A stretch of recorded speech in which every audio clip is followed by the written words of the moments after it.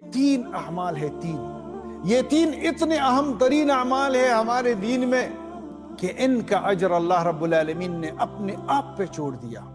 Number ایک، صبر کرنا۔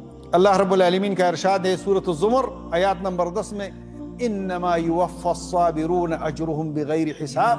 یقیناً کامل صبر کرنے والوں کو ان کا اجر ملے گا بغیر حساب، بے شمار۔ اگر کسی نے گناہ کرنے سے صبر کیا، اگر کسی نے طاعت پہ صبر کیا، اگر کسی نے مشکلات پہ صبر کیا زندگی میں، انما یوفى الصابرون اجرهم بغیر حساب۔ دوسری عبادت جس کا بدلہ اللہ رب العالمین خود دیتا ہے، کیا ہے؟ روزہ۔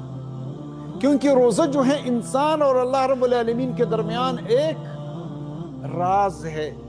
حدیث میں حدیث قدسی میں رسول اللہ صلی اللہ علیہ وسلم کا ارشاد ہے کہ اللہ تعالیٰ نے فرمایا ہے، الصوم لی وانا اجزی بھی روزہ میرے لیے ہے اور میں اس کا بدلہ دیتا ہوں۔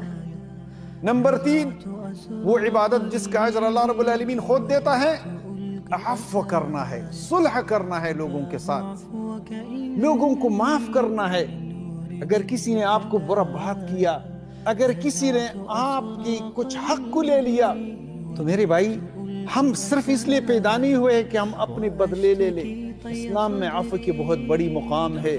فمن عفا واصلح فاجرہ علی اللہ جس نے عفو کیا اور اصلاح ذات البین کیا، تو اس کی اجر جو ہے اللہ رب العالمین پہ ہے۔